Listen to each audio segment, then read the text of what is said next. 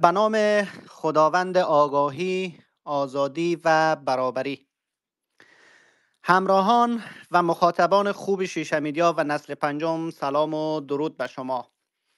امیدوارم در هر کجایی که هستید خوش و سلامت باشید و زندگی بر وفق مرادتان باشد. در X Space این هفته نسل پنجم میزبان دکتر محمد محق نویسنده و پژوهشگر مطالعات اسلامی با موضوع ضرورت روشنگری دینی در افغانستان با در نظر داشت محدودیت های اخیر طالبان علیه زنان، رسانه ها و مردم افغانستان هستیم. دکتر محق فعالترین نویسنده و پژوهشگر افغانستان در زمینه مطالعات اسلامی است. ایشان اکثریت کتابهایی را که نوشته است در زمینه روشنگری دینی می باشند. بخشی از کتاب هایی که جناب دکتر سب نوشته است قرار زیل می باشند. چشم ها را باید شست نقدی بر تفسیر افراطی دین دوم دیانت کین ریشیابی عوامل و گرایش به تندروی دینی سوم بیم موج تعملی در ریشه ها و نمودهای افرادگرایی دینی. چهارم و لیل ازاعس هست نوزایی افرادگرایی و تنگناها. پنجم از مصحف خرد مباحثی در راستای روشنگری دینی از جمله تازه ترین کتاب های جناب دکتر می باشد روشنگری دینی در افغانستان همان گونه که جناب دکتر در راستای آن تلاش و پژوهش می کند با عنوان یک ضرورت انکار ناپذیر مطرح است. چرا که این کشور با چالش های عمیق اجتماعی، فرهنگی و اقتصادی مواجه است. بیش از چهار دهه جنگ و خشونت که محصول آن ویرانی های اجتماعی تضادها و تفرقه های قومی بوده است به نظر برخی کارشناسان و جامعه پژوهان ریشه در همین تعویل های سخت و سفتی دارد که از دین در قالب احزاب، حکومت و گروه های اجتماعی بروز داده می شوند. تنها در همین چهل یا پنجاه سال اخیر افغانستان جریانها و حکومتهای مختلفی را با ایدولوژی های مختلف اسلامی و دینی سپری کرده است که نه تنها گرهی از مشکلات افغانستان باز کرده است بلکه گره های دیگری نیز بر این مشکلات افزوده است. دامنه این مشکلات آنقدر وسیع بوده است که در بین لایه ها و طیف های مختلف اجتماعی باعث تنفرهای مذهبی، اجتماعی و قومی گردیده و سیاست افغانستان را به طرف سیاست قومی و سیاست ورزیدن در پناه دین و مذهب کشانده است. مهمترین مصداق این سیاست ورزی حکومت این روزهای طالبان در افغانستان هست.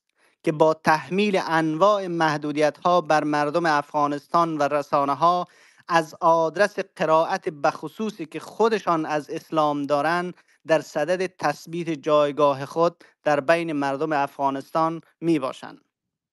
حالا سوال اینجاست که چه راه حلی برای عبور از این مشکلات چندین دههی وجود دارد آیا روشنگری دینی و گسترش آگاهی دینی در حل مشکلات افغانستان کمک خواهد کرد؟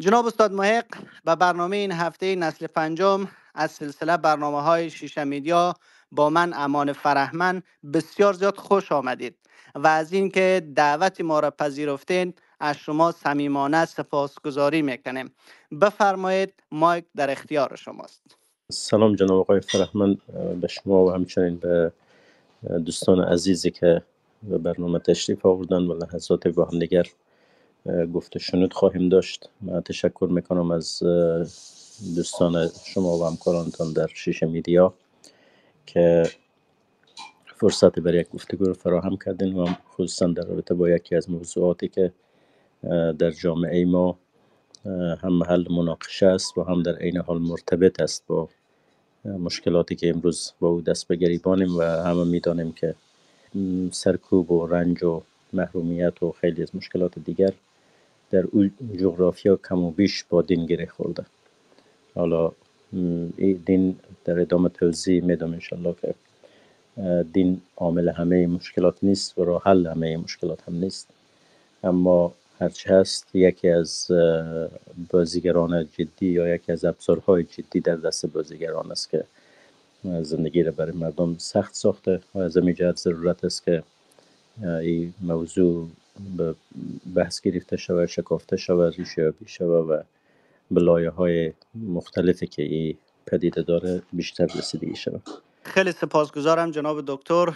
طوری که در مقدمه یادآور شدم شما بیشتر از هر کسی دیگری در افغانستان ضرورت روشنگری دینی را حس کردین و روی همین ضرورت و روی همین مشکلی که وجود داشته در افغانستان شما کتاب های خیلی زیادی را نوشته کردین در این ارتباط. می‌خوایم بپرسم در همین مقدمه چون ضرورت روشنگری دینی در افغانستان موضوع مورد بحث ما است شما چی ضرورت های را در ابتدا حس کردین تا که اقدام به نوشتن کتاب ها و گسترش آگاهی دینی در بین مردم اقدام کردین؟ بحث روشنگری دینی شاید کمک محل مناقشه باشه امروز اکتر دوستای عادت دارن کمک به سر اصطلاحات میپیچن. چند سال در ایرانی بس داغ بود بود بعدن به افغانستان رسید که آیا ما روشنگری دینی داریم روشن فکر دینی داریم نواندیش دینی داریم یا تجدید تجدد طلب دینی داریم یا حتی مدرنیست دینی و رفرمیست دینی و اکثر اصطلاحات که من زیاد علاقمند خود واژه ها و دعوا بر سر واژه ها نبودم. ولی در کلیت چیزی که ما در خلال یکی دو قرن اخیر در جهان اسلام شاهد بودیم یعنی کتاب ها و مدارک و منابع موجود به ما میگه ای است که وقتی کشورهای مسلمان از یک خواب تاریخی بیدار شدن یا از یک عقب ماندگی تعبیر شاید رایجتر باشه از لحاظ تمدنی. وقتی که مسلمان ها در یک مسیر تمدنی پس مانده بودن از کاروان بعد از چند قرن دوباره چشم گشودن و متوجه شدن که دنیا بسیار تحول کرده و بسیار فاصله دارن از این وضعیت. در حقیقت همی شاک یا همی تکانه باعث شد که بس چی باید کرد بیاندیشن.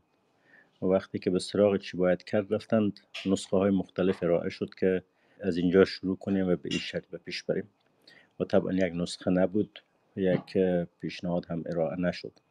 هم در سرزمین های مختلف مسلمان بنا به شرایط متفاوت سیاسی و اجتماعی نسخه های خاص ارائه شد و هم به تناسب سلیقه جریان ها و حتی چهره ها به خاطر ما برای پاسخ به چی باید کرد ده ها نسخه در اختیار داشته بخشی از اینها معطوف مسائل دینی بود. بخش این بود که ما باید مدیریت نو را بگیریم ابزار نو داشته باشیم تکنولوژی تازه داشته باشیم. بعض تاکید بر سر آشنایی با افکار فلسفی نو علوم اجتماعی نو اندیشه های نو داشتن و حتی هنر و ادبیات باید بازسازی شود. و طبعا کارهای جدی هم شد در خلال یک نیم قرن دو قرن گذشته در ایران در افغانستان در شبه قاره هند در آسیای میانه در ترکیه در کشورهای شمال افریقا مصر و تونس و الجزایر در محیط های مثل عراق سوریه هر جایی که ما می‌بینیم به درجات در این جهت کار شده. در یک کشور مثلا شخصیت های در مصر مثل محمد علی پاشا مدرن سازی دولت روی دست گرفت. در عثمانی جریان اتحاد و ترقی در صددی برآمد که کلیت ساختار سیاسی دگرگون کنه و به خلافت پایان بخشه و جمهوریت جایگزینی او بسازه. در هند مثلا کسانی مثل سر سید احمد خان اینها دانشگاه تاسیس کردن تا دانشهای مدرن وارد جامعه مسلمانان کنند و به همین ترتیب در ایران دارالفنون تاسیس شد و در جای دیگر هم در افغانستان ما تلاش هم الله خان و مشروط خان و بقیه را داشتیم. یعنی ما با یک طیف وسیع از تلاش ها که همه معطوف به همین پاسخ به چی باید کرد و یافتن راه حل بوده. با این طیف روبرو بودیم. در این میان یکی از بحث که مطرح شده این بود که چقدر با تفکر سنتی دینی یا تفسیر سنتی و محافظ کارانه از دین که رایج بود در جامعه اسلامی ما امکان عبور از این تنگنای تمدنی داریم و می‌تونیم وارد جهان جدید شویم. آیا امکانش هست یا نیست؟ و خصوصا از این حیث که بخشی از نیروی سنتی و محافظ کار دین مقاومت می‌کرد در مقابل هر تحول و تغییری. تحول می‌تونست در عرصه تکنولوژی باشه در موارد ساده ما بیاد داریم و نوشته شده و در این از لحاظ تاریخی معلومات کافی وجود داره که مثلا با ورود رادیو به بعض از کشورهای اسلامی مخالفت می‌شد.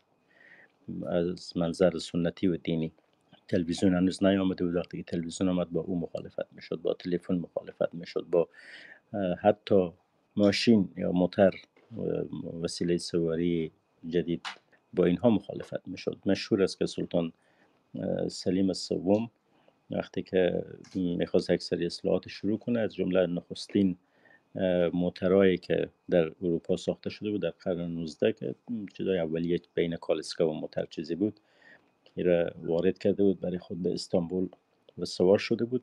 رهبران رهبر یکی از شاخه های سنتی صوفی مشرب و مذهبی به به واکنش آمد پیش روی پادشاه یا خلیفه عثمانی قرار گرفت و گفت که چرخ شیطان است که تو در این خاک حرکت در آوردی و ما اجازه نمیدیم چرخ شیطان در اینجا به چرخه و وقتی که پادشاه گفت که پس شو سر بین اینها مناقشه شد یا آمد پیش روی کالسکه یا موتر دراز کشید.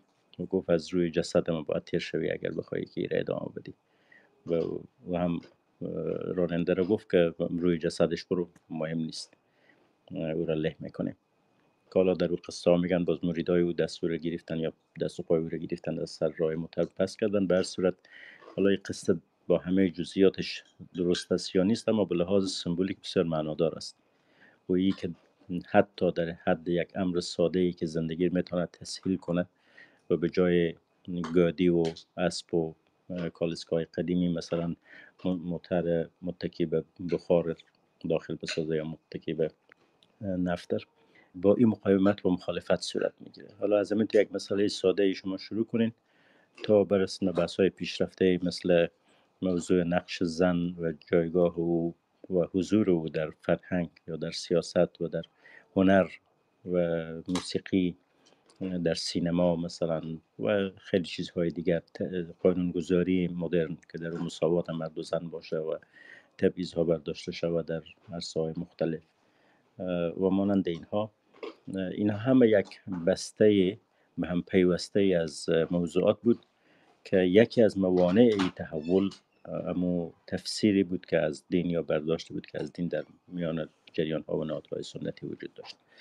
و این مسئله باعث شد که کسانی که خود در عنوان مسلح می‌دانستن یا چنین رسالتی برای خود تعریف کرده بودن مثل محمد عبدو مثل اقبال لاهوری و ده شخصیت دیگر در منطقه مختلف کشورهای مسلمان اینا تاکید کنند برای که ما باید از دین تفسیر ارائه کنیم که مشکل با این تحولات و نوسازی ها یا مدرن سازی جوامع مسلمان نداشته باشه و وقتی که مسئله ارائه تفسیر جدید از دین مطرح شد یک بخشی مربوط میشه به مسائل حقوقی که مربوط به پروسه تقنین و قانون گذاری است که عمدتا با حوزه فقه سر و کار داره. اما به مرور دریافته شد که علاوه بر فقه ما ضرورت به بازسازی لایه های عمیقتر تفکر دینی داریم که مربوط میشه به الهیات و خودشناسی یا پیامبرشناسی جان غیب رابطه جان غیب شهادت یا فیزیک و متافیزیک. و اینکه این منظومه یا این سامان وقت بازسازی میشه و ما ناگزیریم از دانش های زمان خود مستفید شویم از فلسفه نو و از علوم طبیعی هایی که درباره شناخت جهان و طبیعت و کیهان و فضا و کهکشان ها و غیره و غیره. معلومات به دست ما بر مبنای این نوع نگاه به جهان باید خودشناسی خود نو بسازیم که با همدیگر در تلاعم و سازگاری قرار بگیرم بعد به ادامه ای بحث پیش آمد در حوزه اخلاق که به حال مدل ارزش های اخلاقی سنتی به ویژه اینکه در تاریخ ما آنچه متکفل علم اخلاق بوده عمدتا عرفا و متصرفین بودن مکتب های عرفانی ما متکفل این مسئله بود در عرفان ما باعث اخلاقی ژرف و مهم مطرح هست و زیبایی های خود هم داره. اما در این زمان ما موارد هم داریم که با سبک زیست جهان امروز و بشر امروز سازگار نیست. از او چله رفتن ها و ریاضت کشیدن ها و سال های طولانی از جامعه عزلت گزیدن ها و سرکوب نفس و شکنجه خود و دوری از مادیات یا دوری از امکانات رفاهی و خیلی چیزهای دیگری که در او بود. و اینکه ما اگر بخوایم اخلاقیات رو به گونه ای بازسازی کنیم که هم از ارزش های جان شمول اخلاق فاصله نگیریم هم در عین زمان بتانیم با نیازهای امروز سبک زیست مسلمانان از نو بازسازی کنیم. ما به یک نگاه جدید بر اساس فلسفه اخلاق و حتی روانشناسی مدرن اینها ضرورت داریم. مجموع یعنی گفتگوها بحث هایی که به این شکل مطرح شد بستر فراهم آورد برای ارائه تفسیر امروزی از اسلام که دانشمندان کلان به این کار پرداختن. حالا کسای مثل ما و مثال ما و دوستای ما که در افغانستان کار می‌کنیم به نحوه میشه گفت بر دسترخان او متفکران نشستیم و بهره گرفتیم و چیزی در خور توان محدود و بزاعت چیزی که داریم با مخاطبان خود در میان مگذاریم ولی کارهای کلان و جدی متفکرهای بزرگ کردن و هنوز هم این تلاش ها جریان داره. و یعنی این وضعیت ما وقتی که در کلیت جان اسلام می‌بینیم که در جاهای توفیق های هم داشته همه چیزی که در پیشرفت های نسبی که ما در بخش از کشورهای اسلامی می‌بینیم در روند مدرن شدن و نوسازی از جنوب آسیا شروع مثل اندونزی و مالزی بعد بیایم تا خاور میانه مثلا مصر و شمال افریقا بریم ترکیه و جای دیگر. بخش از عواملی که تسهیل کرده امی روند همه تفسیرهای از دین بوده که جوامع مسلمان اطمینان داده که شما در عین مسلمان بودن می‌تونین امروزی باشین. می‌تونین که به دانش های امروز مجهز باشید می‌تونین از ابزار و تکنولوژی جدید استفاده کنین و می‌تونین زندگی خود از نو سامان ببخشین. از عصر خود فاصله نداشته باشین. در این حالی که از دین خود هم مجبور نباشین دست بکشین. نمی اطمینان کم و بیش اینها ایجاد کردن. راه آشتی بین تفکر دینی و بین داده های عصر حاضر و های تمدن کنونی هموار کرد که طبعا در برابر این نوع تفکر مخالفت و مقاومت و حتی ضدیت همیشه وجود داشته و هنوز هم وجود دارد در محیط های مثل افغانستان به دلایل مشخص سیاسی و اجتماعی این مخالفت شدیدتر بوده و هنوز هم هست و حالا که کسایی که مخالف این تفکرن در رأس قدرتن اما در سایر کشورهای اسلامی هم این درگیری بود و هست. در ایران ما شاهد درگیری جدی بین تفکر سنتی و تفکر نو بودیم چه در عرصه دین چه در کلیت قضیه. در کلیت قضایا کم و بیش فکر مدرن بر فکر سنتی چربید غلبه یافت. اما در عرصه تفکر دینی در ایران هنوز جریان حاکم مخالف تفکر نو دینی است و ادامه دهنده تفکر سنتی و یا بنیادگرا در کشورهای عربی هم وضعیت یکسان نیست. در بعضی جاها جریان های سنتی و جریان های بنیادگرا قوی ترن. در جاهای جریان های نوگرا قوی ترن. در اندونزی کم و بیش یک نوع توازن وجود داره هرچند در ساختار سیاسی نوگراها موفق شدن تغییرات و اصلاحات بیارن. در مالیزی کمی نزدیک به این وضعیت هست اما در اونجا قدرت و نفوذ بنیادگراها بیشتر از هاست به هر حال و همینطور یک تلاطم روبرو هستن اما کلیت این نشان میده که علا رقم همه مخالفت ها دشمنی ها و موانعی که وجود داره در کل ما از یک دو قرن پیش به ایسو که میاییم جهان اسلام گشوده تر می شود در برابر تحولات. مخالفت ها طبعا از بین نرفته. موانع هنوز شکل جدی وجود داره. ولی همچنان پیشرفت هم ادامه پیدا می‌کنه و یکی از عواملی که این پیشرفت تسهیل می‌کنه همون تفسیر از دین است که تفسیر نوگرا شناخته می شود و آنچه که ما و شما پیرامون و بحث داریم در افغانستان در یک بستر بیشتر قابل فهم است. سپاسگزارم جناب استاد.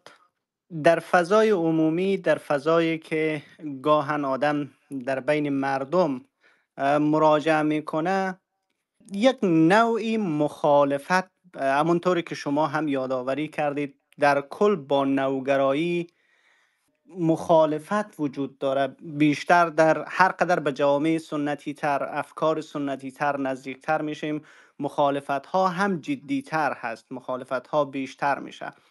حالا سوال مشخص ما ای است جناب دکتر که آیا اسلام زمینه و آغوش برای نوگرایی مدرن برای نوگرایی که مطابق جهان امروز باشد درش وجود داره یعنی آغوشش برای همچون نوگرایی ها باز هست؟ ببینید وقتی سخن از اسلام گفته میشه ما نباید یک ذات ثابت و یک جوهر تغییر ناپذیر و چیز فراتر از ذهن و درک و آگاهی مسلمانان تصور کنیم که در یک جای وجود داره. گویا بیرون از آنچه که ما انسان ها با او سر و کار داریم در یک وضعیت استعلایی به تعبیر فلسفه. یک اسلام استعلایی در یک جای بالاتر هست که او مبناست. و بعد ما او را به عنوان ذات اسلام در نظر می‌گیریم و بعد حالا این سوال مطرح می‌کنیم که اسلام چنین است یا چنان است یا سازگار است یا سازگار نیست یا حکم اسلام در این باره چی است. واقعیت قضیه است که ما آنچه که از اسلام در اختیار داریم یک مخلوط از نص یا متن دینی است و تفسیرهای متعددی که از این متن در طول تاریخ شده و به همین شکل تجربه های عملی که از به اجرا گذاشتن ای وجود داشته در قالب فرهنگ ها و مدنیت های مختلف. بنابراین ما با یک پدیده چند زلی و چند لایه و در هم پیچیده و در هم تنیده سر و کار داریم به نام اسلام. خب یک لایه ای طبعا نخستین و معتبرترین لایه اسلام لایه متن مقدس است که در قرآن مجید نمایان می شود اما همین متن هم همیشه قابل تفسیرهای مختلف بوده. از صدر اسلام از زمان پیامبر و صحابه شروع تا به امروز هیچ تغییری نیامده در این وضعیت و در آینده هم چنین خواهد بود که همیشه دروازه های تحویل ها و تفسیرهای مختلف از او باز است. بنابراین به محضی که ما سخن از اسلام یا حکم اسلام یا دیدگاه اسلام موضع اسلام نسبت به یک شیء میگیم آنن و مستقیما وصل این به تفسیرها و تعبیل هایی که از اسلام میشه و اصلا اسلام بدون بیرون از این تفسیر و تعبیل ها وجود نداره مطلقا. به او خاطر ما مجبوریم که وقتی می‌خوایم ببینیم که آیا اسلام با چیزی که شما پرسیدین مثلا سازگاری داره با این تحولات یا تغییرات و امثال اینها به این مسئله که فکر می‌کنیم بیشتر از این زاویه ببینیم که چی تفسیرهای از اسلام ممکن است که سازگار باشه چی تفسیرهای اسلام ممکن است سازگار نباشه. یعنی چون چیز اسلام فراتر از تفسیرها وجود نداره. آنچه که عملا هست و بوده در تاریخ همین مجموعه تفسیرهای اسلام است. کدام تفسیرها سازگار است کدام ها نیست. حالا اگر ما دیدیم تفسیر هست که سازگار است بعد میشه به این سوال برسیم که آیا این تفسیر از اسلام که با عقل سازگار است با علم سازگار است با تمدن سازگار است با توسعه و ترقی سازگار است و با خیلی خواسته های دیگر؟ چقدر بستر داره؟ چقدر زمینه داره؟ چه عوامل می‌تونه کمک کنه که مورد پذیرش همگانی قرار گیره؟ یا چه موانع باعث میشه که پذیرفته نشود؟ در حاشیه به مطرود باشه منفور باشه.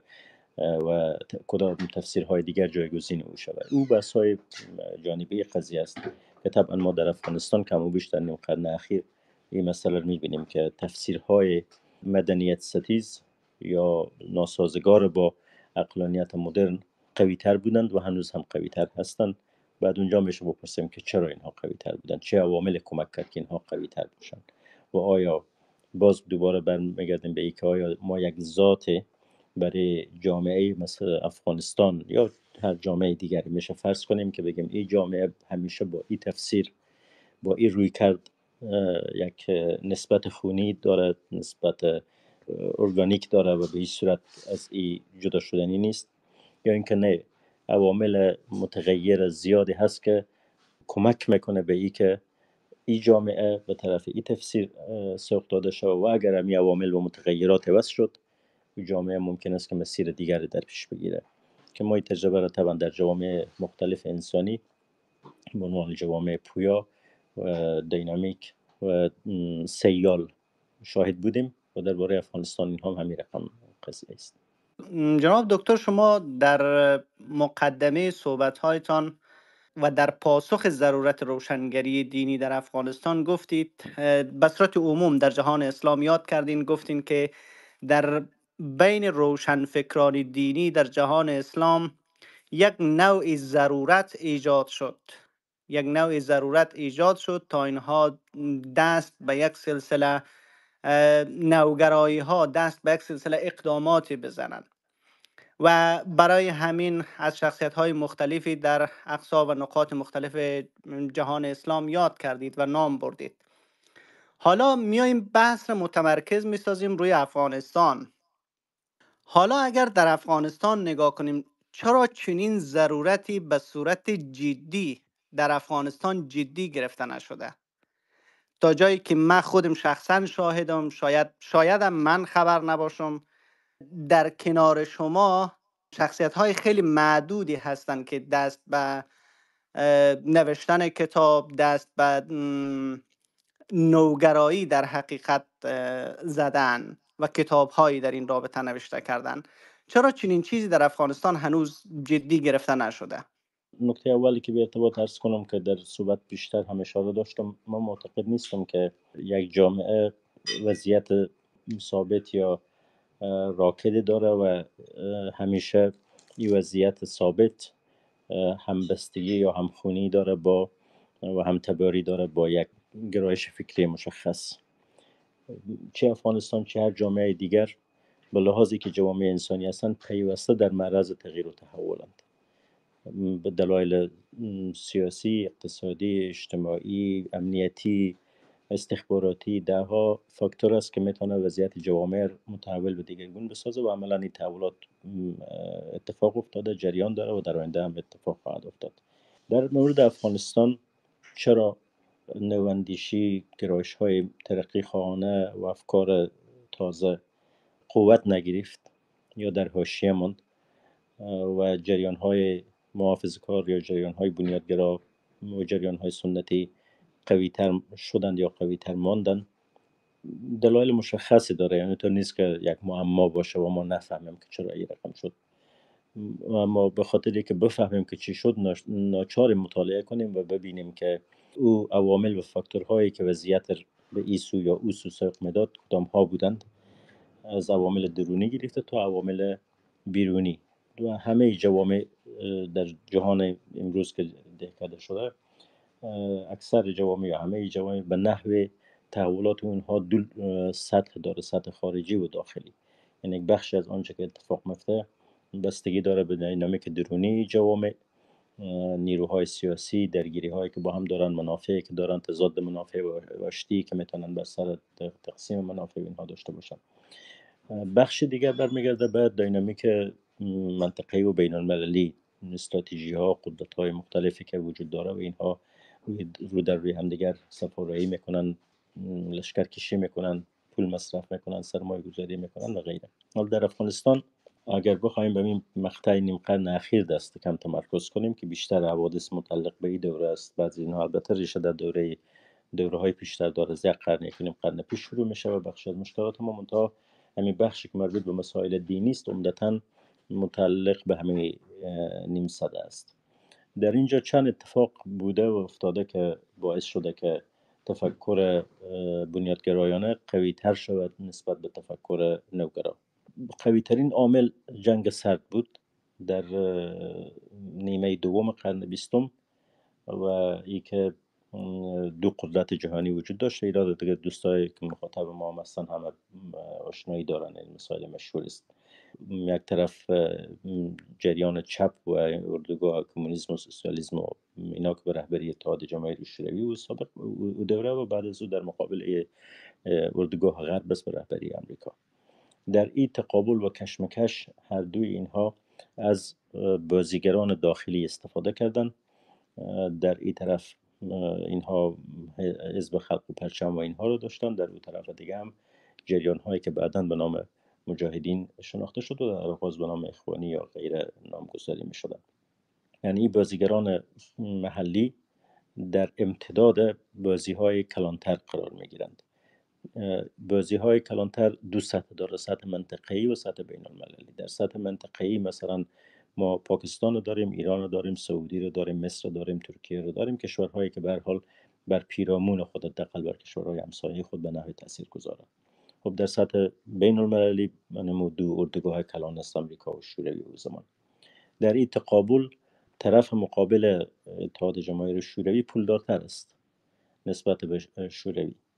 شوروی بانک بر قدرت بود در او زمان اما قدرت او عمدتا قدرت نظامی بود. ارتش سرخ داشت اسلحه جنگی پیشرفته داشت و زور اشغال کردن داشت توان تسخیر داشت. طرف دیگه این چیزا رو داشت آنچه که شوروی داشت او هم داشت اما علاوه بر او پول بیشتر داشت. علاوه بر پول بیشتر مراکز فکری و علمی پیشرفته تر داشت. در غرب در کنار این دستگاه های و بنگاه های رسانه ای قدرتمندتر داشت و هم پیمانان او هم در منطقه که در او زمان در وقت دوران جنگ سرد کشورهای مثل پاکستان مثل ایران وقت شاه مثل مثل انور سادات مثل سعودی و کشورهای خلیج و برخی هستند. اینها هم در مقایسه با هم پیمانان شوروی قدرتمندتر بودن به لحاظ اقتصادی قدرتمندتر بودن به لحاظ نیروی باسوادی که داشتن به علاوه ای که اینها با نیروی بازیگر محلی ما که نیروی مذهبی باشه با اینها سنخیت بیشتری داشتن. بلاز فرهنگی و تمدنی و غیره مشترکات بیشتر. یعنی این تسهیل می‌کرد. کار و قوت بیشتری میبخشید. به شکل بسیار راحت. نیروهای که اخوانی بودن یا اسلامگرا بودن در پیش از جنگ ها در زمان زایر خان و داود خان مثلا در افغانستان. اینا راحت به پاکستان می‌رفتن با جریان های بنیادگرای اونجا مثل جماعت اسلامی پاکستان و بقیه می‌دیدن و طبعا این در امتداد سیاست بود که کل دولت پاکستان رو دنبال می‌کرد درباره افغانستان که در اینجا یک نیروی پراکسی یا نیابتی داشته باشه و از طریق بتانه بر سر دولت افغانستان فشار بیاره و رو به چالش بگیره. در امتداد همون سیاست و همسو با او بود. و بعد این چیزی بود که باز همسو بود با سیاست کلانتری که غرب هم می‌خواست امریکا می‌خواست غرب در زمان در کل امیره می‌خواست که منطقه هم مرز با شوروی است. باید یک نیروی یک دیوار ایجاد شود که جلو نفوذ کمونیسم و جریان چپر به این طرف ها و طرف آبهای گرم و اقیانوس هند و خلیج و بقیه بگیره. خصوصا خلیج که به خاطر نفت خود اهمیت داشت. حال این دیوار کی ایجاد می‌کرد؟ دیوار محلی همین نیروهای مذهبی بودن. و این نیروهای مذهبی باید دیوار می بودن که واقعا می‌تونستن صد پیشروی باشند در مقابل پیشروی و جریان چپ مقاومت کرده بتونن. خب اگه بخوایم که او توانایی را داشته باشند باید بر سر این سرمایه گذاری کنیم. او چهار تا دانشجویی که به دانشگاه کابل است چهار تا دانش آموز متعلمه که در لیسه های سلطان و لیسه جامعه هرات مثلا خود اخوانی میگن یا در بلخ و کابل و جای دیگر. اینها با دست خالی با امکانات ناچیز نمی‌تونن در مقابل جریان چپ آنقدر چالش ایجاد کنند که او را متوقف کنند یا او را اصلا از سکوی نفوذ پس کنند. به او خاطر باید امکانات در این راستا مصرف می شد امکانات باید بخش اینا پول می بود بخش اینها باید تبلیغات می بود و تبلیغات دستگاه های رسانه مختلف باید روایت می ساختن و این روایت ها باید به یک discourse کلان ختم می شد این چیزی که اینا همه مثل یک package است به تعبیر یک بسته به هم پیوسته است اجزا و بخش های مختلفی به هم دیگر مثل یک ماشین کلان کار می‌کنه. یعنی شما رادیو بی بی سی رو دارین تلویزیون مثلا CNN رو دارین یا رادیو صدای امریکا رو دارین یا رادیوهای محلی دیگر رو دارین اینا باید هر روزه بگوین خبر تولید کنن تحلیل کنن چیزهایی که یک روایت کلانر یا یک ابر روایتر بتونن هم تولید کنن هم ترویج و تبلیغ کنن و جا بیندازن و ذهنیت عامه و افکار عمومی رو در همین مسیر سوق بدن. در کنار این تبلیغات باید پول و امکاناتی وجود داشته باشن انسان ها به هر صورت نیاز به نان خوردن دارن. مسئله منافع مادی یک رانه یا یک عامل عمده تحولات کل تاریخ است. هم نیرو مذهبی هم که هست بخشی از کار خود درست از روی اخلاص و عقیده انجام میدم و بخش دیگه بستگی داره که بعد منافع هم تامین شود. او خاطر پول های سرازی شد از سعودی سرازی شد از کویت و از خلیج و از قطر و امارات و از خود پاکستان و از گروه های مذهبی مختلفی که پول جمع آوری می‌کردن و طبعا پول های کلان و هنگفترم با CIA و جای دیگر می‌دادن. در اختیار بازیگران البته منطقه‌ای قرار می‌دادن در خدمت پاکستان و در اختیار اینا و بعد بخش از اون می‌رسید به نیروی محلی. این نیروی محلی حال به خاطر که بتونه سفاره کنه سربازگیری کنه نیرو جلب جذب کنه باید مکتب میساخت باید مدرسه میساخت باید مسجد میساخت باید شفاخانه یا کلینیک میساخت باید مؤسسه خیریه میساخت همون چیزایی که برای در سطح و قد و قامت همو جامعه بود. چیزای پیشرفته البته نبود. یک مکتب به این کمپ مهاجرین میساختن یک کلینیک به اونجا میساختن یک انجمنکی به اینجا میساختن مجله به اونجا را مینداختن نهاد فرهنگی به اینجا شروع می‌کردن محفل به اونجا می‌گرفتن. ولی همه اینها بخش از یک روندی بود که بر ما یک discourse کلان جا مینداخت و در کانون همی discourse مسئله اندیشه بنیادگرایی قرار داشت. و همو تبلیغات جهانی و روی کرده که در پیش گرفته شده بود در سطح کلان راه هموار کرد که هزاران نفر خود به خودی اتفاقات نمیفته وقتی که تا وقتی یک اراده کلان سیاسی وجود نداشته باشه. او در واقع تسهیل کرد که هزاران نفر از مصر و از اردن و از الجزایر اینها باشن بیان به پشاور. ایمن زواهری بیای اسامه بن لادن بیای عبدالله عزام بیای فلانی بیای احمد و محمود. و اینها هر کدام که میای یک شوای نفوذ دارن پیروان دارن دوستان دارن شبکه ارتباطات دارن سازمان های دارن. و با خود پول میارن با خود تیوری و ایدولوژی میارن و در کدام اینجا که معهد می‌سازه که انستیتوت می‌سازه یک مجله تاسیس می‌کنه که فلان می‌کنه و اینها خود به خود اتفاق نمیفتاد اینا می آمدن تا پول جمع می‌کردن از امریکا پس بین مسجد ها می‌رفتن بین مراکز اسلامی می‌رفتن مردم تشویق می‌کردن که اونجا افغانستان مورد اشغال شوروی قرار گرفته ملت مظلوم از مردم نان ندارن بخورن و ده چیز دیگر خب این پول می آمد در مسجد های سعودی مردم می‌رفتن موثرین حتی موثرین افغان خودشون شنیدم که قصه می‌کردن که ما شبای جمعه می‌رفتیم از این مسجد به اون مسجد پتو مینداختیم که برای مجاهدین افغانستان کمک کنیم و مردم هر کس به اندازه توان خود کمک می‌کرد و از روی اخلاصی که وجود داشت اینا رو جمع می‌کردیم باز اینا رو به فلان رهبر جهادی و تنظیم و اینا میرساندیم بازی پول که میامد طبعا همه برای مردم مصرف نمی‌شد بخش اینها می‌رفت اکانت های شخصی کسایی که بازیگرای صحنه بودن اما یک بخشی هم مصرف می‌شد. اونجا از این مجله جور می‌شد از این کتاب از عربی به فارسی ترجمه می‌شد کتاب های کی ترجمه می‌شد کتاب های سید ترجمه می‌شد کتاب های ابوالعلا موجودی ترجمه می‌شد و امثال اینها. یا مجلاتی که اونجا چاپ می‌شد مجله الجهاد بود که مجله المجاهدین بود مجله البد بود و الموقف بود و امثال اینها. یا به فارسی میسا خون بود و شهادت بود و نمی‌فهمی اتحاد بود و چی بود و چی بود. همین وضعیت کم و بیش در او طرف دیگه ما در بین مهاجرین افغان در ایران هم داشتیم که در اونجا باز حکومت کلا در دست بنیادگراها بود و این اندیشه ها موج می‌زد همه جا. بنابراین به ارتباط سوال شما که چرا اندیشه های حاشیه رفت و اندیشه های بنیادگرا در کانون مسائل قرار گرفتن و به جریان مسلط تبدیل شدن. باید همه ای عوامل ما در محاسبات خود بگنجانیم. یعنی اینطور نیست که به خاطر قوت ذاتی خود یا منطق قوی خود یک اندیشه به پیش می رود شما دو اندیشه رو عرضه می‌کنید مثل دو کالاست میمانند پیش روی مشتری. مشتری اگر در وضعیت کاملا بیطرف قرار داشته باشه مقایسه می‌کنه که کدام یک از دو کالا به سود اوست و همو رو برگزینه. در کالاهای فکری و اندیشگی چنین چیزی نیست.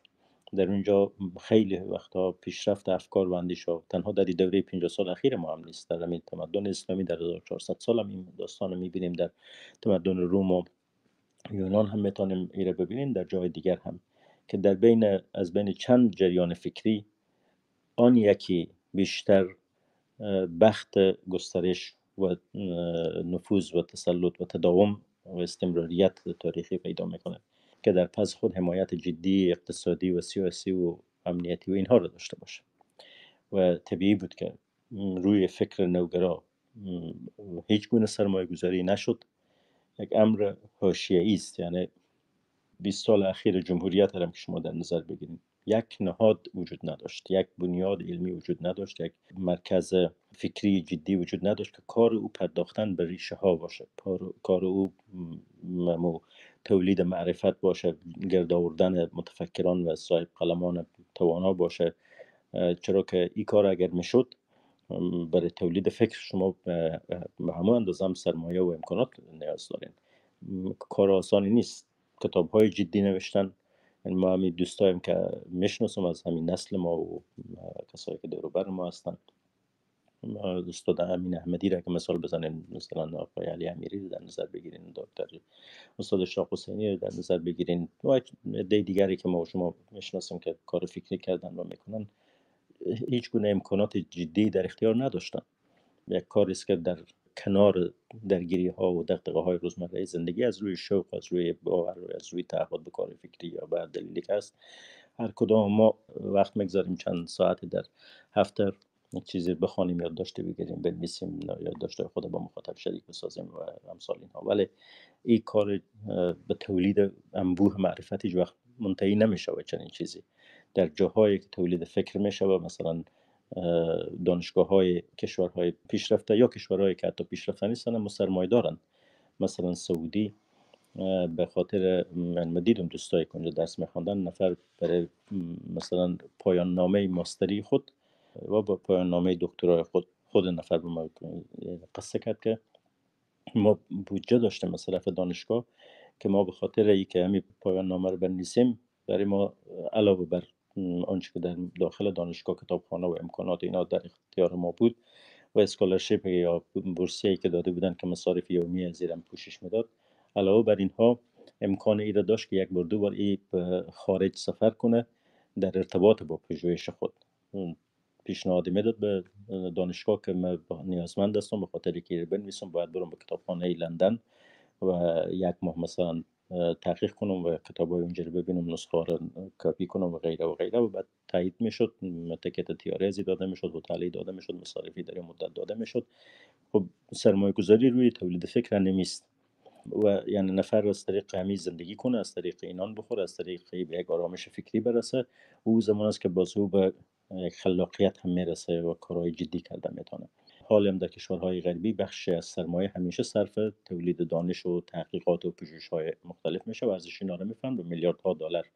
بعضی وقتا به خاطر یک تحقیقی که یک نفر یک, یک کتاب بنویسه دو لک یک دلار یک دانشگاه به قرارداد می‌کنه که تا امیر تحقیق کنه. یک تحقیق اکادمیک روشمند بسیار جدی و دو سال یا سه سال اون نفر او هزینه رو دریافت می‌کنه و محصول یک کتاب میشه که باز در کتابخانه های دنیا راه پیدا می‌کنه و جا پیدا می‌کنه و گره میگوشاید در افغانستان ما به خاطر کارهایی که نقش روشنگرانه داشته باشه هیچ سرمایه گذاری نه از طرف دولت افغانستان شد نه نهادهای مردمی وجود داشت و نه هم خارجی ها اهمیت به مسئله می‌دادن پول های زیاد البته می آمدن نه در این راستا.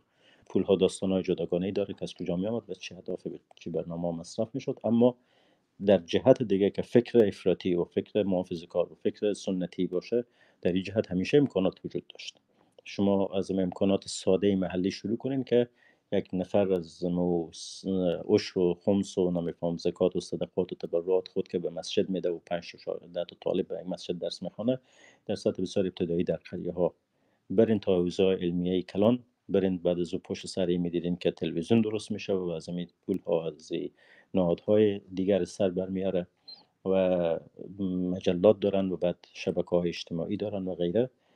به علاوه ای که برای مدارس که فکر طالبانی داشت دو دهه پول های زیادی از کشورهای اسلامی عرب و عجم می آمد و حمایت های متعدد می شد این حمایت ها همیشه هم لزومی نداره که مالی باشه. بخش طبعا مالی است اما بخش دیگر مثلا شما بورس بدین به یک نفر بنیادگرا زمین مساعد کنین که او برای به قطر بعد برای مثلا به اندونزی به چند تا کنفرانس اشتراک کنه و در اونجا با چند چهره که آیکون شدند مثلا با یوسف قرضاوی برای عکس بگیره برای با آیت الله فلانی یا مرجع تقلید در فلان جا ملاقات کنه و بعد از این طریق ای کم کم تبدیل میشه به چهره معروف و ولوی که علمیت چندان نداشته باشد دانش بلندی نداره اما اما دستگاه ها ایره مطرح می‌کنن کلان میشه و نفوذ و گذاری پیدا می‌کنه. به خاطر یک وقت می‌بینین با یک دانش اندک با چند کلمه احساساتی چند لک نفر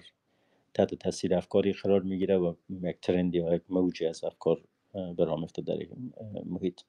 و این همون کار سازمانی و تشکیلاتی است که طبعا نیاز به امکانات و نیاز به حمایت امثال اینها داره در مسیر کارهای روشنگری یا نوگرایانه یا ترقی خواهانه حداقل در بود فکری قضیه متاسفانه در همین نیم قرن در افغانستان من خبر نیستم یا نشنیدم که واقعا چیزی بوده باشه یا شده باشه. که یعنی اینجا عامل مادی رو خواستم مثال بزنم اراده سیاسی رو خواستم بگم در سن شبکه اجتماعی که مجموع اینها به علاوه وضعیت بحرانی هم که جامعه داره در جوامعی که یعنی اگر ما مثلا در افغانستان نباشیم همین بحث ها در جامعه آرام مطرح کنیم. در او مردم یک زندگی نسبتا طبیعی تر و آرام تر داشته باشند. در اونجا برای مردم فرصت اندیشیدن تا حد بیشتر فراهم است. وقتی که مردم دغدغه امنیتی ندارن وقتی که مردم دغدغه نان کمتر دارن فرصتی دارن که شما دو سه گزینه پیش روی اینا قرار بدین یا دو سه کالا رو بگذارین. دو سه تا فراورده فکری رو در اختیار اونا قرار بدین و بعد به اونها چانس ای بدین که اینا مقایسه کنن و انتخاب کنن. ولی وقتی که در یک جامعه مردم وحشت زدند اینجا انفجار میشه اونجا عملیات انتحاری میشه اینجا اختطاف میشه اونجا کنار سرک کمین میشه و اینجا فیر میشه بر سر معلم اونجا فیر میشه بر سر موتر پلیس در یک جامعه به شدت بحرانی و وحشت زده تنها احساسات از حاکم است. در اونجا جای چندان به فکر کردن نیست اصلا.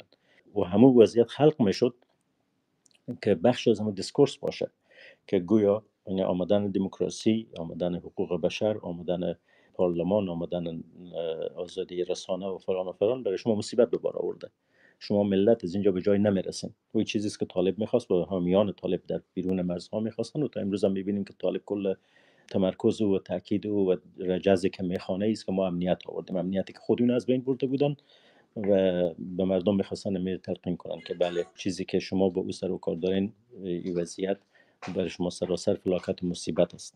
و مردم هم به ستوه می آمدن در او طور یک وضعیت دیگه شما بیاین بحث روشنگرانه رو مطرح کنین. در او context روشنگری برای بسیار از مردم یک چیز مزخرف معلوم می شد حتی به محضی که شما بیاین و ما بارها دیدیم همه کسانی که اهل قلمند اهل قلم به معنای روشنگرانه قضیه ایران بردن که او اگر چیزی به فیسبوک نوشته یا آمده سخنرانی به یک دانشگاه ارائه کرده یا رفته تلویزیون بحث کرده یا مقاله در یک ژورنال نشر کرده در حال های تبلیغاتی و بنگاه های تخریب و مسموم کنی که از طرف گروه های بنیادگرا بود. یک کلان تبلیغاتی و عوام فریبانه به جان یادم ها که اینها پروژه ایستن اینا در خدمت غرب هستن اینا در خدمت نمیفهم مؤسسات چی هستن اینجا چنین هستن چرا هستن در حالی که حداقل می اهل قلم که من می‌شناسم که بعضی از دوستان نامم گرفتم چرا هیچ کدام عمل چیزا نبودن و نیستن و اصلا همین چیزی وجود نداشت در محیط. ولی در همون فضای مسموم تبلیغات این گونه بود. و مردم هم متاسفانه در یک جامعه بحران زده زیاد فرصت ندارن برای که توانایی را ندارن که تشخیص کنن میانه کالهای فکری. در نتیجه برد از آن فکر عوام فریبانه فکر پولیستی افکار بنیادگرایانه است. و ای از عواملی بود که من می‌خواستم امیر توضیح چرا در افغانستان یک فکر قوت گرفت یک فکر دیگه بهاش تشکر. بسیار زیاد جناب استاد شما سلامت باشین. من یک دو سوال داشتم که یک سوالش پاسخهایی را که شما گفتید در لابلای صحبت های شما من پاسخش را گرفتم و او سوال من نقش مدارس دیوبندی و قوم و نجف در رابطه با ایجاد محدودیت بر روشنگری و ترویج افراطیت و این مسائل بودن که من تا حدود پاسخش را گرفتم. اما سوالی که به عنوان آخرین سوال ما که پیش ما هست و او است دکتر صاحب که شما در بخش از صحبت هایتان از تفسیر اسلام صحبت کردین و از تفسیرهایی که وجود داره در دین اسلام صحبت کردین. پیش طالبا هم یا طالبا هم به گونه یا به زن خودشان یک تفسیر میگن به زن خودشان دیگه. میگن که ما یک تفسیر دقیق از اسلام داریم و با استفاده از همین تفسیر بر مردم افغانستان اینا حکومت می‌کنن فعلا و با استفاده از همین تفسیری که خودشان دارن محدودیت های به حد و حصر را محدودیت های بی سابقه را بر دختران و زنان افغانستان اعمال کرده و جدیدا شما شاید شنیده باشین که مثلا در تخار محدودیت های را بر رسانه ها اعمال کردن گفتن که تصاویر زندجان ها باید دیگر از تلویزیون ها پخش نشوند. می‌خوایم نظر شما را در مورد این گونه تفسیر طالبانی که وجود داره فعلا طالبان از همین آدرس حکومت می‌کنن نظر شما را بشنوم و در عین حال می‌خوایم از شما بشنوم که این گونه تفسیر چی سنخیتی با نفس و ذات اسلام داره؟ آیا چنین چیزی که طالبان اعمال می‌کنن وجود دارد یا خیر؟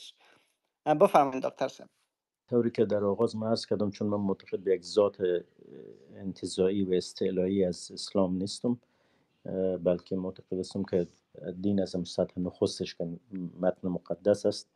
همیشه با تعویل ها پیوند ناگسستنی داره تعویل ها و های مختلف.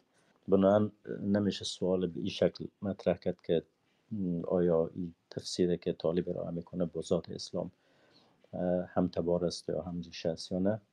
اما میشه این رقم مطرح کرد که آیا چنین چیزی چنین تفسیری از متن دینی امکان پذیر هست یا نه؟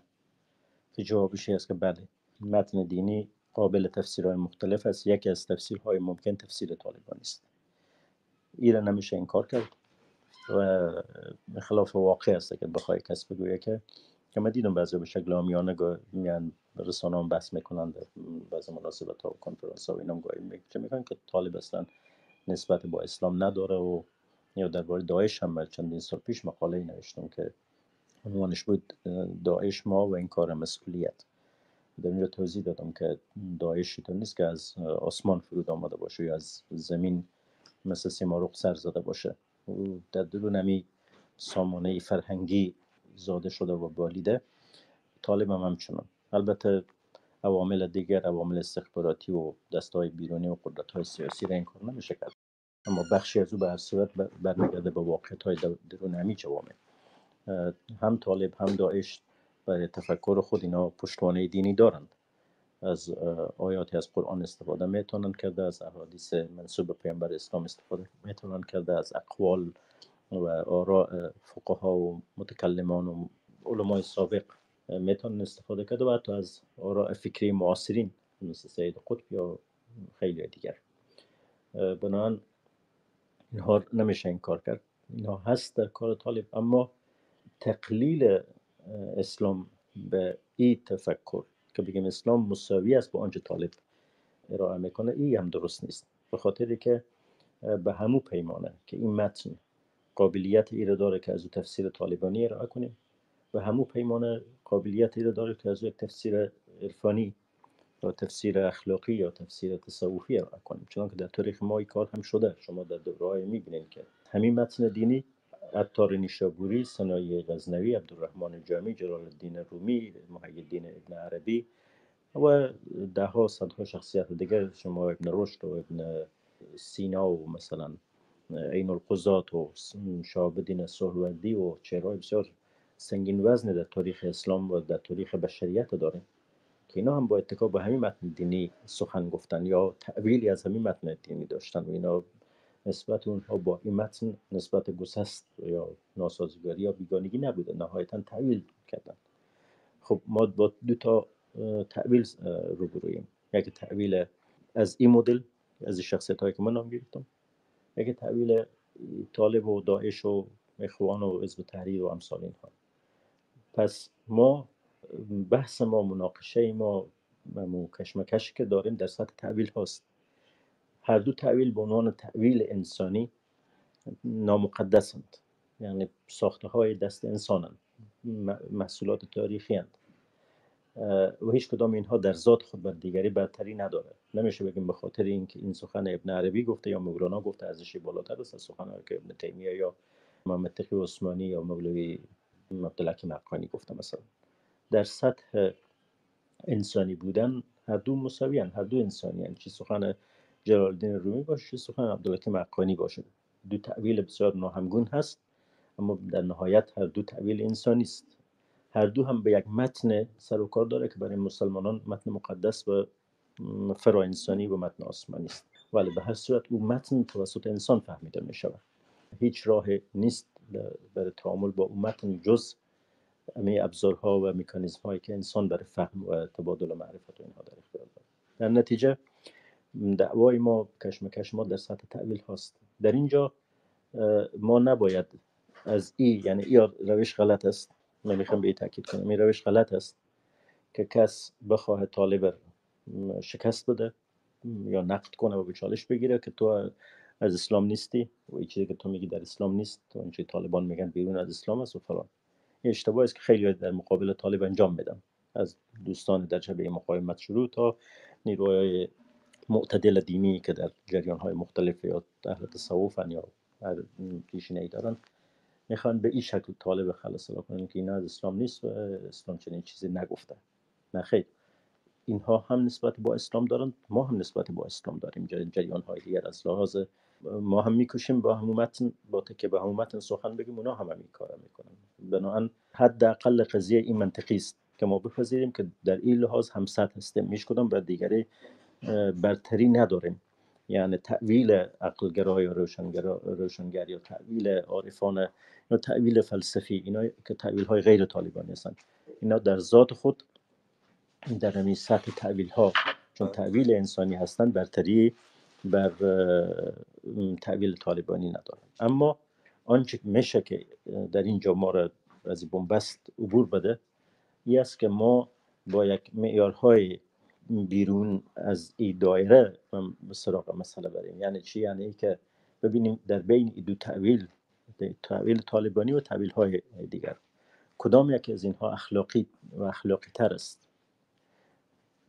این جای بحث جدی داره و ما می‌تونیم دفاع کنیم از اینکه تعویل طالبانی تعویل غیر اخلاقی است تعویل داعش اسلام تعویل ضد اخلاقی است.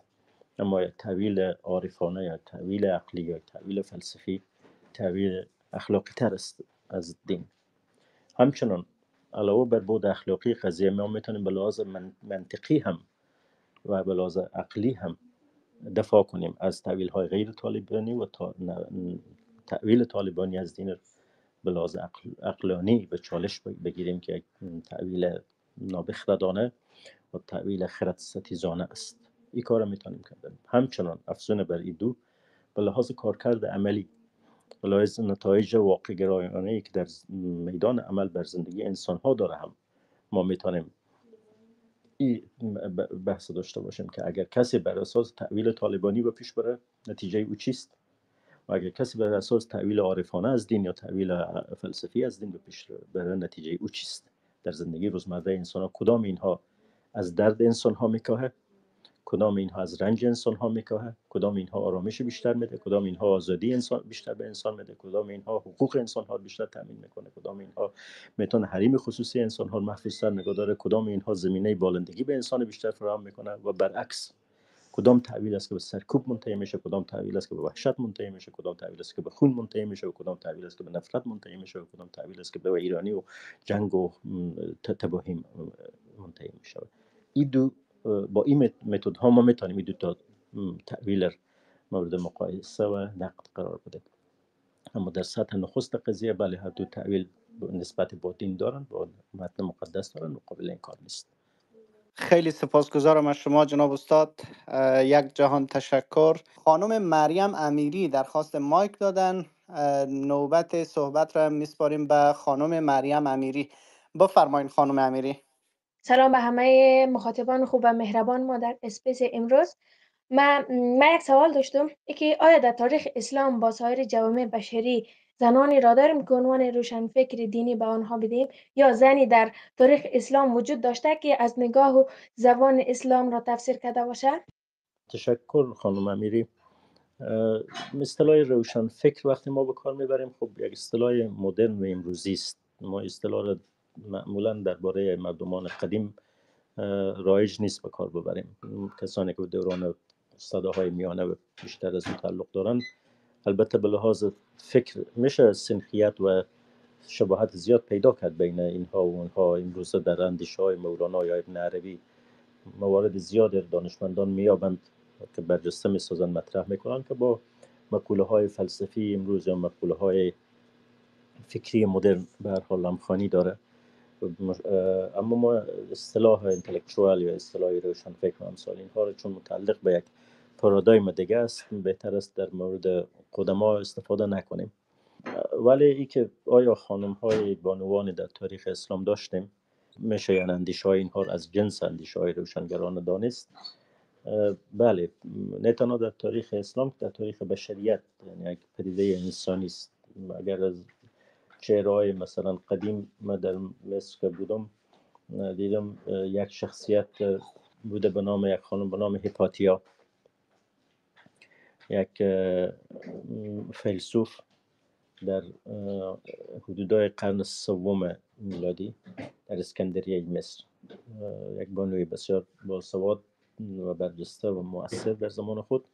تا امروز حالا مثل که کلیوپاترا مثلا عنوان یک شخصیت سیاسی در تاریخ مصر مطرح است هیپاتیام در عرصه تفکر فلسفی مطرح است و روی افتخار می‌کنند ولی بعدها او دست مسیحا کشته می شود در در تاریخ اسلام هم ما رابعه ادویه را داریم که عطار در تذکرات اولیا اون یک زن عارف از او بسیار تمجید یاد می‌کنه و که هم سطح کسانی مثل بایزید یا مثل جنید یا امثال این هست بعد ما بانوان مثل گوهرشاد بیگم داریم که در حوزه خود ما و شما کارهای ماندگار کرده بناهایی که تعمیر کرده حمایتی که از دانش و اندیشه نشان می‌داده از هنرمندا و از بقیه.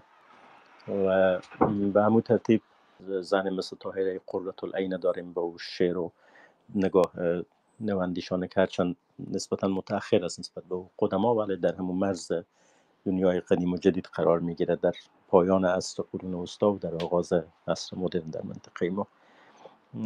و به می ترتیب در جاهای دیگر هم یعنی ما, ما مثلا شخصیت های داریم که در عرفان در جایگاه بودم مثل ابن عربی مرید یک خانم بوده و شیخ او در طریقت یک بانو بوده. و امثال اینها. واقعیت هست البته به شکل طبیعی که بعد مرد سالارانه در تاریخ ما پررنگتر است. میدان یا زمینه برای بروز بانوان زیاد فراهم نبوده.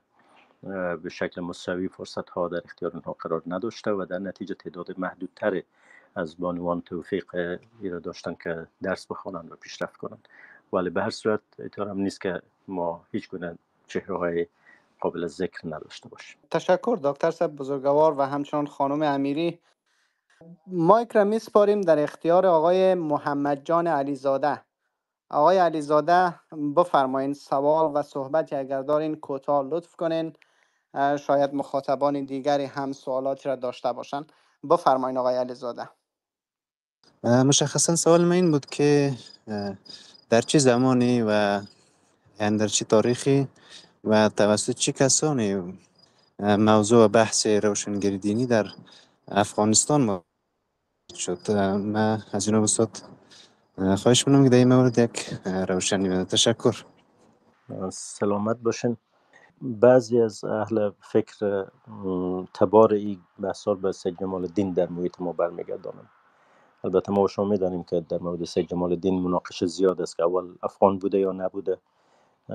ایرانی ها هم دلایل عرضه می‌کنن مبنی بر از همدان بوده. افغان ها هم کتاب نوشتن و دلایل ارائه کردن. و هنوز دعوا ختم نشده و ظاهرا رای هم نداره برای ختم شده. و ما دوستایم داشتم از مردم های کرد کردستان که اونا مدعی بودن که سید جمال الدین اصلا کرد بوده و اصل کردی داشته و بعدا از اینجا به اونجا سفر کرده. که البته کسایی هم نسبت به سید جمال الدین با دید منفی وقت می‌بینند و هستن کسایی که چنین دیدی دارن. اونا در هیچ یک از کتگوری ها قرار نمیدن و حتی کسی مثل سلطان عبدالحمید عثمانی یک از امپراتوران آخر عثمانی که باز آخرین امپراتور مهم بعد از یکی دو تا دیگه هست پادشاهان عثمانی که مهم نیستن اما آخرین پادشاه مهم عثمانی ها سلطان عبدالحمید دوم است که او خاطرات داره. در کتاب خاطرات خود در زمان تبعید بوده نوشته در مورد سید جمال الدین که او یک جاسوس بود. او انگلیسی ها بسیج کرده بودن برای آشفتگی و امثال اینها. و البته در او طرف ما کسای مثل محمد عبدو رو داریم که یک دانشمند کلان بوده متفکر برجسته اصل خود است و امروز هم آدم مهمی به حساب میه و او باز به سید جمال الدین احترام و ارادت داشته و چند سال با هم همکار بودن در مجله اورات و در پاریس. بنابراین شخصیت سید جمال الدین محل منازعه است و آراء ضد و نقیز درباره او زیاد است. اما هرچه هست در اثر گذاری او نمیشه انکار کرد و ای که در زمان خود در هر یک از این محیط ها تاثیرات داشته از جمله در افغانستان. و بعدها کسانی مثل محمود ترزی اینها ادعا داشتند که ادامه دهنده راه سید جمال الدینند و البته محمود ترزی همه چیز رسید. جمال الدین نیاموخته بود یا نگرفته بود بلکه او تحت تاثیر نوگرایان ترک قرار داشت. در زمانی که در ترکیه بود و باز در سوریه بود. و وقتی که به افغانستان آمد بخشی از اندیشه را از اونجا با خود آورد و شما رگه های از نوگرایی در نوشته های محمود ترزی می‌تونین پیدا کنین ولی نوگرایی زیاد معطوف به دین نیست. هرچند اینا مایل به بودن که به حال تفسیری از مثال دینی ارائه شده که سازگار باشه با همین ترقی خواهی اما دقدقه های اونها بیشتر معطوف امور سیاسی و نو دولتداری و قانونگذاری و امثال اینها بود که بخشی از امور شما در قالب کارهای امان الله خان و اصلاحات او می‌تونین ببینیم و اگر بخوایم اینا به طور مشخصتر به نو اندیشه دینی تمرکز کنیم که چه کسانی با این مباحث آشنا بودن.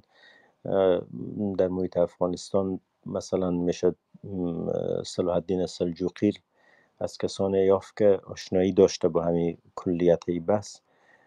هرچند که در بین فلسفه و در بین فکر عارفانه و فکر نو در نوسان است منظومه فکری و ولی به هر حال سواد و دانش قابل توجهی داشته.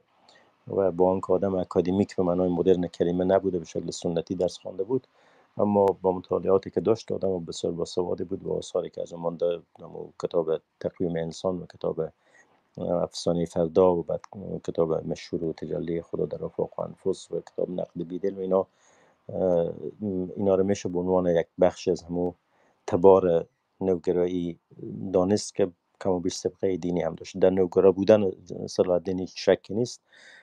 چرا که میان او و سنتی های وقت او درگیری هم بود و به ویژه مشهور است که ما یک نفر در هرات داشتیم اون زمان به نام حاجی اسماعیل سیاه که تنز پرداز بوده و شعر گفته و آدم جالبی بوده اما در مخالفت با مسائل نوگرایی هم یک آدم مشهور است که جمله مو آدم های زبان آور سنتی ها یا محافظ کاران بوده. و او گویا صلاح الدین سلجوقیر به خاطر حمایت از تأسیس مکتب نسوان یا توسعه مکتب نسوان تکفیر کرده بود و دو زده بود و چیزهای زشت گفته بود. و او آدم طبعا حج و پرداز بود شعرهای حج زیاد می‌گفت. در جواب او با صلاح الدین هم یک شعر قصیده گفته بود. و در نوشته هایم بر او تاخته که یک آدم عقب مانده متحجر بد زبان چکار فلان است. اینا این مثال رو عرض می‌کنم یعنی که ما به شکل خیلی مشخص اگر زیر عنوان روشنگیری دینی و امثال اینها کسایی نداشتیم که به این عنوان معروف باشن اما کارهای فکری اینها در همین دستبندی ها قرار می‌گیره. از کسی که میشه در پهلوی صلاح الدین جدی گرفت مرحوم بهادین مجروح هست که سواد اکادمیک هم داشته. فرانسه درس خونده بوده با فلسفه جدید آشنایی داشته با مباحث دینی هم آشنایی داشته. و از خانواده مشروط خواه و ترقی خواه هم می آمده از شمس الدین مشروط پدر و اینا. اینها را میشه در همین کتگوری قرار داد. مثلا مرحوم اسماعیل مبلغ با کارهای فلسفی که می‌کرد در زمان خود دانش و علاقات تدریسی و نوشته های او میشه او در همین ردیف قرار داد. به عنوان پیشکسوتان در افغانستان که بعدا باز می‌رسه ما به دوره جنگ و انقلاب ها و آشنایی با اندیشه های دکتر شریعتی و سروش و ملکیان شبستری و اینها و این نسل ما که بالاخره از اون طرف نوشته های نوندیشان عرب ارگون و ابو زید و بقیه هم وارد محیط شد و این نسل ما بیشتر باز با بس آشنا بود. ولی به هر حال اگر در مو جغرافی های افغانستان بخوایم تبار شناسی کنیم من که مرز کردم به ذهنم می‌رسه. تشکر جناب استاد سلامت باشین. وقت برنامه هم فقط هشت دقیقه باقی مانده. است سوال آقای نیکوبین را می‌گیریم. آقای احسان هم در قاست مایک کردن. آقای نیکوبین با در نظر داشت وقت سوالتان را کوتاه لطف بفرمایین و در این حال آقای احسان بعد پاسخ جناب استاد را به صورت یک جایی می‌گیریم. بفرمایین. بس ما سوال ما بیشتر در مورد روشنگری است که خود روشنگری دینی در واقع یک نوع تناقض فکری و فکری نیست. چون ما اگر از لحاظ لغوی هم بهش فکر بکنیم روشن چیزی که ما روشن می‌کنیم حتما یک, یک مسئله تاریکی باید باشه. یعنی چگونه میشه که یک انسان هم روشن فکر باشه و هم دیندار؟ و در طول صحبت های آقای محق که من در جریان بودم ایشان از مفهوم مفاهیم مثل نواوری و نواندیشی بیشتر استفاده کردن که نواوری و نواندیشی هم در واقع نوعی یا اصطلاح دینیش در واقع ابداع یا همون بدعت باید باشه. یعنی چگونه ممکن است که هم در عین حالی که یک انسان دیندار و معتقد به روایت های دینی از مسائل مثل خلقت مثلا باشه و در عین حال یک آدم روشنگر و منتقدم باشه. چون ما اگر تاریخ روشنگری را در غرب نگاه بکنیم می‌بینیم که خب در نصفه های صده هفته روشنگری در غرب رقم خورد و در واقع ادامه یعنی همون روشنگری باعث از بین رفتن اون قرن یا قرون سیاهی به نام قرون وسطا در اروپا شد. سوال ما در, در, در واقع در مورد اینمی تناقض هست که روشنگری دینی از دید ما یک نوع تناقضش چگونه میشه این دو تا مفهوم متضاد هم را با همدیگه تلفیق کرد. تشکر. تشکر از شما آقای نیکوبین استاد اگر اجازه باشه سوال آقای احسان را هم بگیریم. شما مشترک بعد جواب بدین. بفرمایید آقای احسان. آقای محق شما بحث ماهیت روشنگری دینی را به شکل بسیار واضح یادآوری کردین و در کنار او چالش هایی را که در مسیر تاریخ در سرهای متفاوت در مقابل روشنگری دینی شکل گرفته هم یادآوری کردین. سوال ما ای است که با توجه به واقعیت های عینی جامعه افغانستان راهکار شما یا روی کرد شما به خاطر گذر از این وضعیت و حرکت به سمت روشنگری دینی چی می باشه یعنی کدام گام هایی که هم بتانه در واقعیت افغانستان یا در بافت افغانستان عملی شود بسیار موثر است و مفید است. اونا کدام معلفه ها یا کدام متغیرها می‌تونه باشه که گذر صورت بگیر از این وضعیت به وضعیت روشنگری دینی. تشکر. سلامت باشین. تشکر از هر دو دوست گرامی. دوست اول ما که درباره تناقض روشن فکری و دینداری مطرح کردن خب سخن هست که حداقل دو دهه هست همی دعوا جریان داره. و ما در آغاز صحبتم گفتم که برای ما واقعا هیچ مهم نیست همی اصطلاحات روشن فکر دینی داریم یا نداریم. هر کس هر رقم راحت است تصور کنه. یا بازی و کلمات است ما فکر می‌کنم. و خود ما هیچ اصرار ندارم که مثلا خود ما یا کارهای من نوشته های من از زیر عنوان روشن فکری دینی یا نواندیشی دینی یا هیچ کدام اینها نامگذاری کنند این اصطلاحات صرف کمک ما کمک می‌کنه به کمی دستبندی جریان های فکری بتانیم آسان تر انجام بده. حالا نوگرایی میگیم نواندیشی میگیم هر که هر کس راحت است باشه. من فکر می‌کنم که واژه ها تقدس ندارن که ما بر سر اینها دعوا برپا کنیم. اما آنچه در عمل اتفاق افتاده در تاریخ ما بسیار اندیشمندای بزرگ داریم که در این حال اینها به نحو دیندار بودن و دیندار سنتی نبودن. ولی دیندار بودن دیندار به معنای که به یک امر قدسی یا به خدا یا به نیروی متافیزیکی باور داشتن یا به جهان جهان در رمو سطح مادی فرو نمیکاستن و به های فرامادی عالم اعتقاد داشتن و به تجلیات از او در زندگی انسان در روح و روان آدمی یا در پهناهای مختلف زندگی می‌دیدند آدم های ساده و عادی هم نیستن. بروین مثلا از اسپینوزا و شخصیت بو عظمت شروع کنین. تا آدم مثل ایمانوئل کانت تا بیاین مثلا پول ریکور و خیلی های دیگر. و حتی شخصیت های در حد ویتکنشتین و های دیگر و پوپر و اینها هم که بیدین بوده باشن تثبیت نیست و به سکوت یا به نوع خاصی از یک جهان قدسی یا به یک امر قدسی گویا باور داشتن. البته نه با مدل های سنتی تعریف شده در ادیان. بنابراین من فکر می‌کنم بین روشنفکری و بین دینداری اقتصاد ماهوی و ذاتی وجود نداره و ما اگر بر این زیاد اصرار کنیم دوچار همون ذاتگرایی میشیم که یک ذات ثابت برای روشنگری وجود داره. روشنفکری و یک ذات ثابت برای دینداری. و این دوتا با هم قابل جمع نیستن یا به ذات با هم متناقضن. حالا که در عمل بخش زیاد از دانشمندا حتی در مورد اینشتین مثلا بحثایی که شده که او به خدا اعتقاد داشت اما به خدای اسپینوزا اعتقاد داشت نه به خدای بایبل. این بحث ها هستن. من می‌تونم شما سخنرانی های مثلا میچیکو کاکو یا آدم های دیگر. ببینین در این در دانشگاه بحث کردن. من فکر می‌کنم که چنین چیزی نیست. عملا هم ما وقتی اقبال لاهوری داریم مثلا محمد عبدور داریم سید احمد خان داریم محمد ارگونه داریم مثلا ابو زید داریم سروش داریم.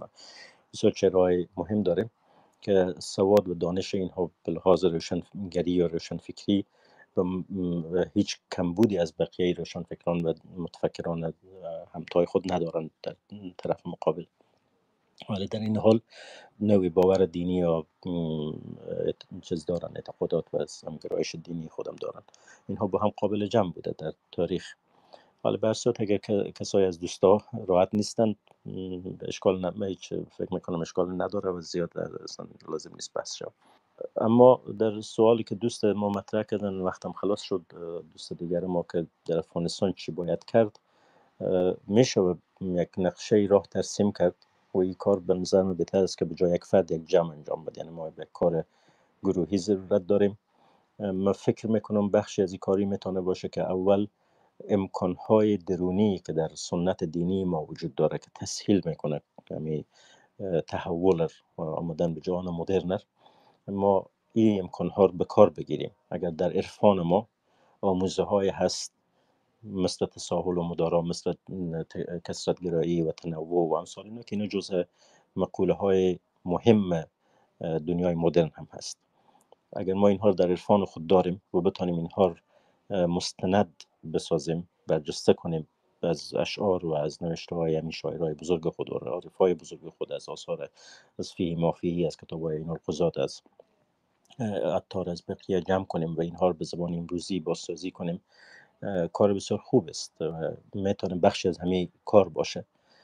ما در بین مسیحا و یهودیا و اینام که ببینیم یا هندوها یعنی بقیه ادیان هم تلاشار کردن. شما امروز بخواین بایبل بخوانین به نسخه های مدرن بایبل مراجعه میدن شما.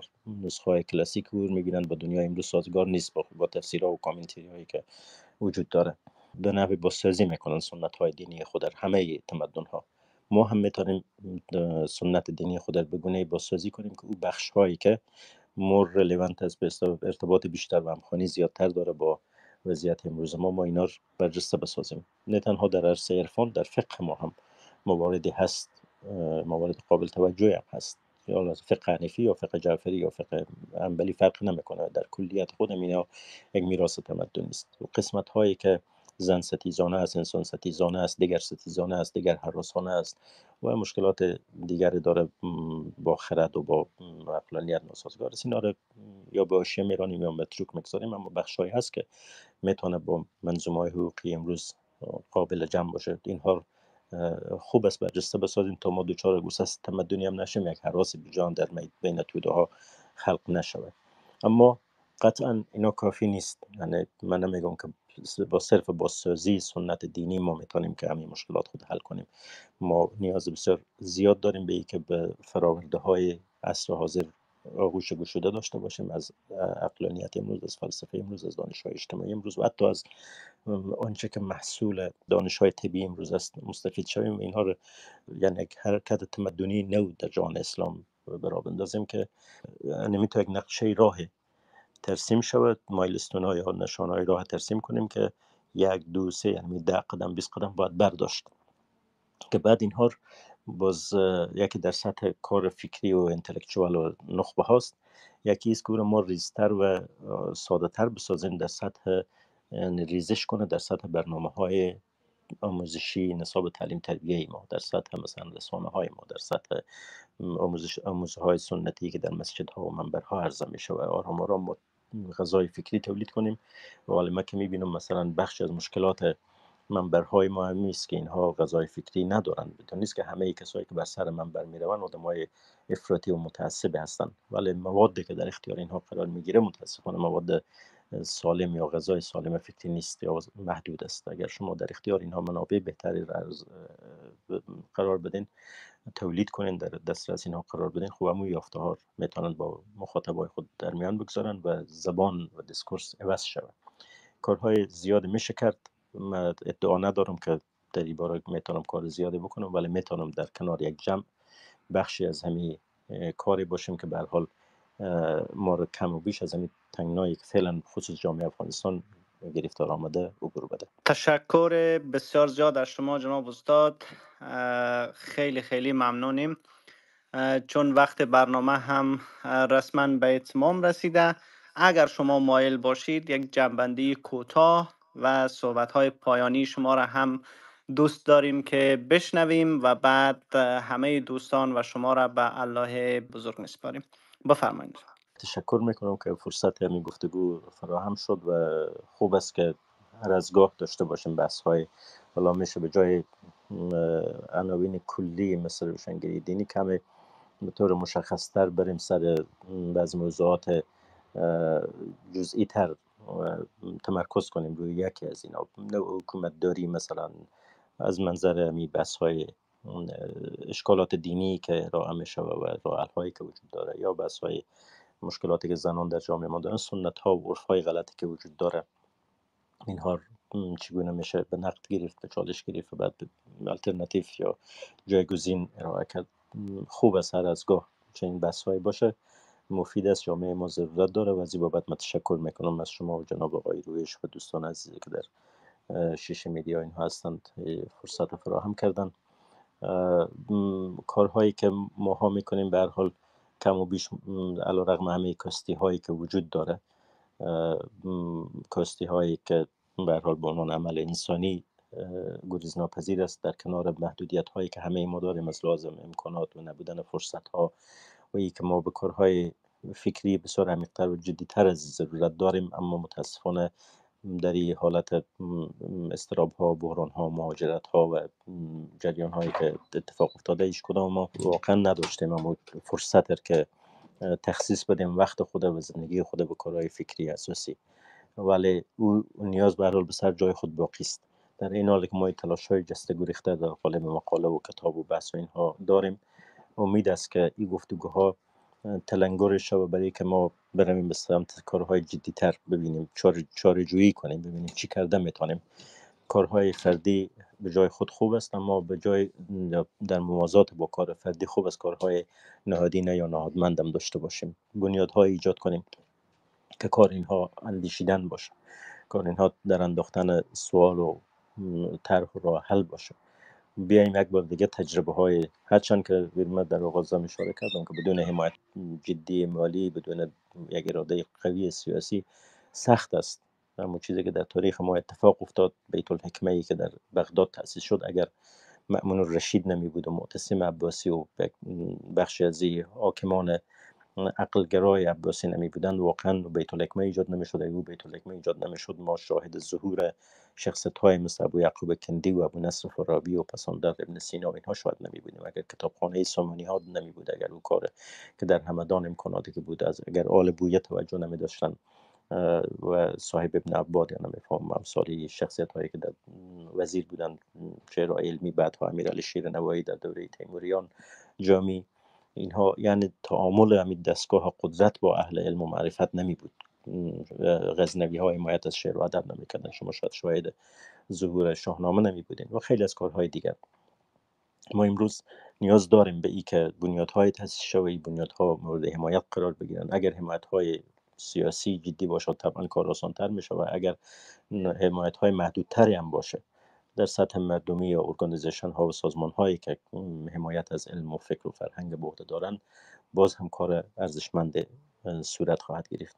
اگر هیچ کدام اینها نباشه ناگزیر ما به می کارهایی که لنگ لنگان انجام بدیم هر کدام ما در گوشه مجبور بسنده کنیم هرچند تاثیر اینها محدود خواهد بود. در مقایسه با آنچه که جریان های قدرتمند با پول های میلیارد دلاری برای ترویج افراطیت و نفرت انجام دادن و انجام میدن و متاسفانه دورنما نشان میده که منطقه ما تنها افغانستان منطقه ما در معرض یک طوفان و یک سیلاب است که خیلی چیزها به سر را خود برخواهد داشت. از همین حال قابل پیش بینی است و از همین حال هم اگر تلاش شود قابل پیشگیری است اما اگر نشود همین وضعیت که امروز افغانستان است و نیم مقدس از نداره شاید آسیای میانه شاید پاکستان میشه به قاره یعنی شاید ایران و خاور میانه خیلی جا دیگر هم در خود فرو ببلعه.